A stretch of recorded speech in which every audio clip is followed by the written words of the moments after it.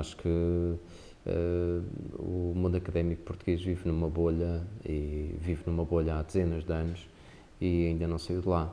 Nós o que notamos com os jornalistas que vão chegando, os miúdos que vão chegando às redações, é que eles têm uma preparação brutal. E o problema nem sequer não é tanto eles chegarem aos jornais e não saberem fazer notícias, porque as notícias uh, uh, aprende-se a fazer uma notícia, não é? O que me preocupa muito mais é que as pessoas saem da faculdade sem cultura, saem da faculdade sem um pensamento, saem da faculdade sem bases culturais, sem bases históricas e saem da faculdade a escrever mal.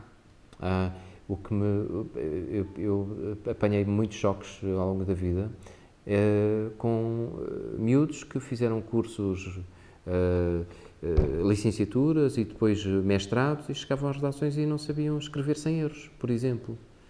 É impossível isto acontecer, não é? Isto quer dizer alguma coisa, tem que querer dizer alguma coisa sobre o nosso, sobre o nosso mercado um, universitário sobre, sobre o nosso sistema educativo, não é só sobre, sobre o mercado universitário, sobre o nosso sistema educativo. A verdade é que as pessoas, na sua maioria, chegam altamente impreparadas ao mercado de trabalho. E uma vez mais, nós podemos ensiná-las a escrever notícias, mas não é numa redação que nós vamos ensinar alguém para quem foi o primeiro rei da, da história de Portugal. Uh, quer dizer, uh, eu costumava fazer um exercício com as pessoas que entrevistava, eu sempre, eu, eu sempre gostei de acolher estagiários e em todas as relações por onde passei, hum, eu, eu tive, tive um bocadinho esse papel.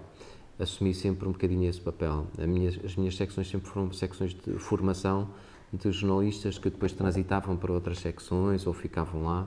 Hum, e quando eu fazia entrevistas aos, aos candidatos a estagiários, eles ficavam muito surpreendidos porque eu nunca lhes fazia nenhuma pergunta sobre jornalismo, sobre notícias. Uh, falava com eles sobre uh, quais eram os seus gostos, quais eram os seus interesses, qual tinha sido o último filme que viram, qual foi o último livro que leram. Um, porquê? Porque isso para mim é muito mais importante.